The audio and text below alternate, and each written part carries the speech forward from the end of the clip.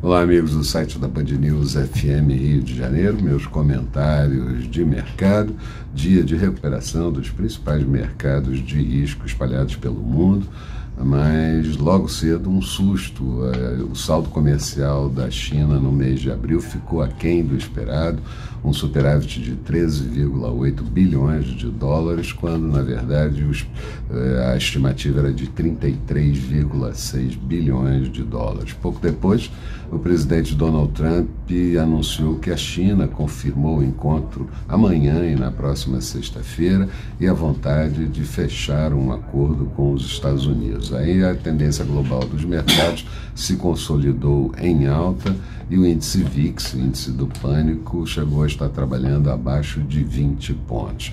O Irã também anunciou que vai suspender parte do acordo nuclear no que foi é, controlado pelos Estados Unidos de que vai fazer sanções sobre a área de metais do Irã. Estoques de petróleo em queda no mercado americano na semana anterior mexeram com as commodities e ajudaram a recuperação das ações da Petrobras por aqui, que subiram no dia 3,87%.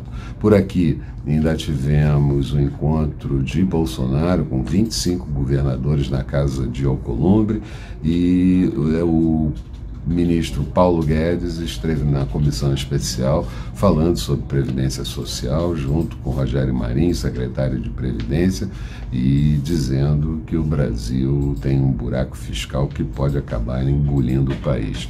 Resumo do dia: Bovespa encerrou com alta de 1,28%, índice 95.599 pontos o dólar por aqui fechando em queda de 0,91%, moeda americana cotada a R$ 3,93. Amanhã, dia de divulgação das vendas do varejo por aqui, o Copom que divulga a sua decisão sobre política monetária depois de pregão encerrado aqui, vai ter que reverberar as conclusões e principalmente o comunicado, e nos Estados Unidos o saldo da balança comercial referente ao mês de março. Além disso, vários discursos de dirigentes do Fed. Mas isso é papo que a gente bate amanhã.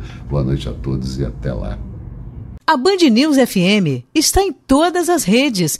Não deixe de se inscrever e seguir nossos canais.